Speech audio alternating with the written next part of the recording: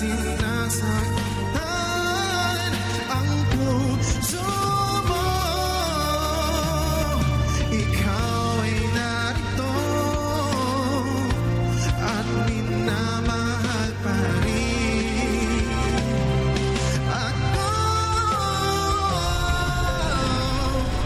Kasama ang palad po, ah, namatay na po si daddy last 2012 at yung mother ko naman po tsaka yung kapatid ko nasa England pa rin po ngayon. Ah, tinry ko na mag-apply pero tatlong beses po ako na-deny. Ngayon po, ako po ay isang real estate agent. Bilang agent, na-discover nila ako doon ako makanta pala ako. Sinali nila ako sa isang contest which is a bikini contest. Ako po yung nanalo doon at ang talent na pinakita ko po is singing.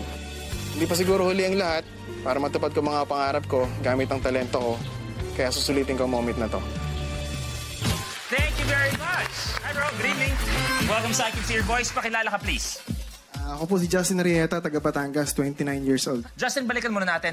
Pagka ganun visa, hindi na-explain sa'yo minsan, di ba, bakit ka dinay? Simple, either approved or denied ka, no? Pero Apply? Luis, yan ba yung suit niya noon? Hindi po. ah, hindi. Mahirap ba, Justin, para sa'yo na halos buong pamilya mo inang doon, iba ang buhay sa ginagawa mo dito sa Manila? Ah, mahirap po, pero nung una lang yun, ah, kasi nung may video call naman po tayo, so ah, nasanay na rin. Nalaman ba nila na sasali, sa, sali ka ng I Can See Your Voice? Apo. Ano sabi nila? Woo! wow! Wow! Masali ako sa I Can See Your Voice! Woo! Grabe!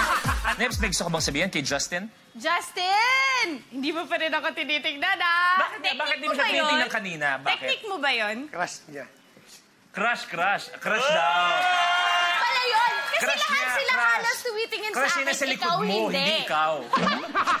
Hindi ka man napala dito hanggang sa huling round.